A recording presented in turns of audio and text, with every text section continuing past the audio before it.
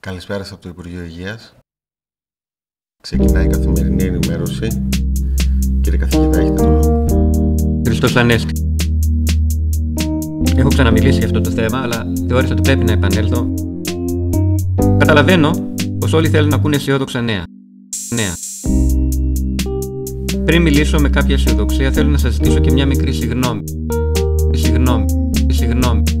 Γιατί πολλές φορές με αυτά που ανακοινώνω, τους θανάτους, θα, θα, θα, θανάτους, όπως και εγώ, φαντάζομαι έτσι κι εσείς, είναι απόλυτα φυσιολογικό να αισθανόμαστε θλίψη. Να αισθανόμαστε στρες και θλίψη. Στρες και θλίψη. Και θλίψη.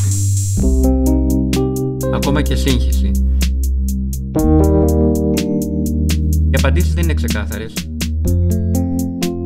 Σε όλες τις στρατηγικές υπάρχει μια βεβαιότητα. Είναι πάρα πολύ δύσκολο για κάποιον να επικοινωνήσει αυτή την αβεβαιότητα.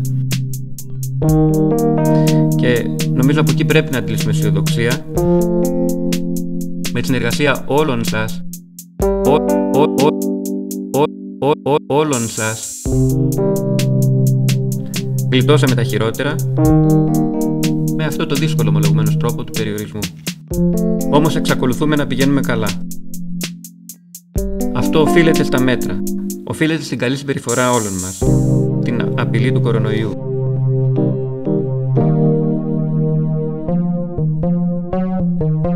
Δεν θα θέλαμε να ανακάμψει η πανδημία στη χώρα μας μετά από μια τόσο επιτυχημένη πορεία.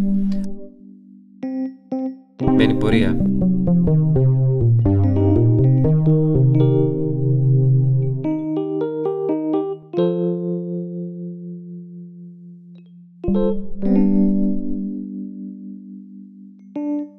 Δεν θα χαλαρώσουμε.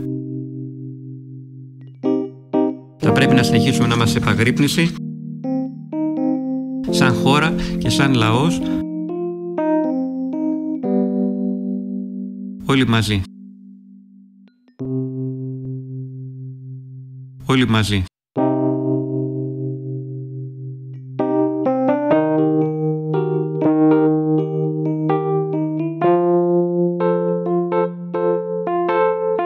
Jezus Christus.